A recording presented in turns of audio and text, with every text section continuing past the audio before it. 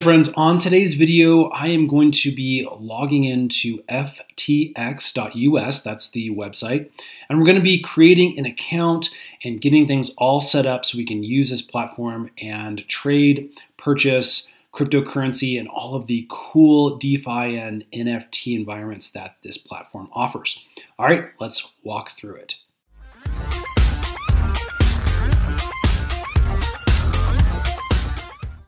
Okay, so first things first, if you have not yet signed up for ftx.us and you're interested, please use our referral link in the description box below as it will get us some great rewards. So let's go ahead and walk through the registration process. Now remember this is a exchange and so you are going to have to trade some personal information in order to have access to this account. But again, this is not financial advice, so follow your own risk levels and do your own research. Okay, with that being said, let's go ahead and log in and get started. So I'm gonna come over here to the register button that's up top here. I'm gonna click on this. And as you can see, the first thing we need to do is use our email address and enter a specific password that will allow us to then set up an account using the link that they are going to send us. Also take note and make sure you are using the secured website ftx.us. There's a lot of fraud out there, so be very careful. Okay, so I'm gonna enter my email password and then we will hit the button down here to proceed. Okay, once you hit the sign up button, you are then taken to this identity verification page. And the first thing we need to do is enter our country. I'm in the US, so I'm gonna keep that. I'm gonna go ahead and put my state in here and then we'll hit the submit button. Okay, so as you can see, there are specific levels of identity verification that unlock your ability to use this site as it's properly meant to. So unverified, you can actually explore the site, but you can't deposit or trade. Level one identity verification, which is where I'm at right now, will allow you to trade. You can do up to 10K US daily withdrawals and then you can have ACH bank deposits from a bank account. If you look at level two identity verification, as you can see, you can get unlimited crypto withdrawals, unlimited USD deposits, and withdrawals. So again, we'll see what that requires. Right now we're on this level two, so let's continue to move along. So I need to complete my profile. We need to verify who we are. I'm an individual and not an institution. So we're gonna need to put in some specifics for me as an individual. See we're gonna need my legal name, we need a date of birth, country of residence, we need a phone number. We're going to have an SMS code that's sent to that phone number, street address, and then we can submit that information. So let me go ahead and fill all this in, pretty self-explanatory. Again, remember to send this code so you can put in the SMS code and we'll move on to the next page. Okay, so as you can see, we are starting to get into more information that we need to share. And again, this is where some people may not feel comfortable with sharing this kind of levels of identity. But again, this is very standard for these exchanges because it is a government regulated entity. So as you can see, we are going to be able to use our ID. In this case, it's going to be my state driver's license. And I have some photos that I've already uploaded to my computer, but you have some other options either to take a picture with your phone or use your webcam. Again, I'm going to use the upload file option and we'll upload those to the system.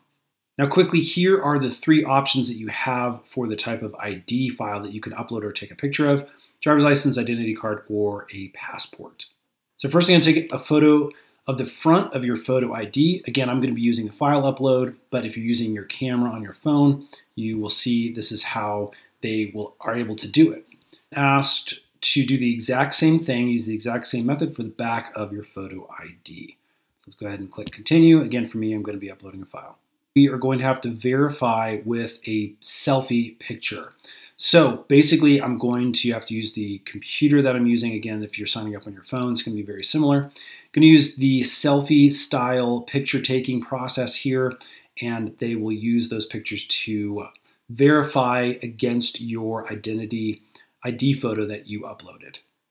And as you're walking through the process, you may have seen that your browser asked you if it was allowed to use your camera.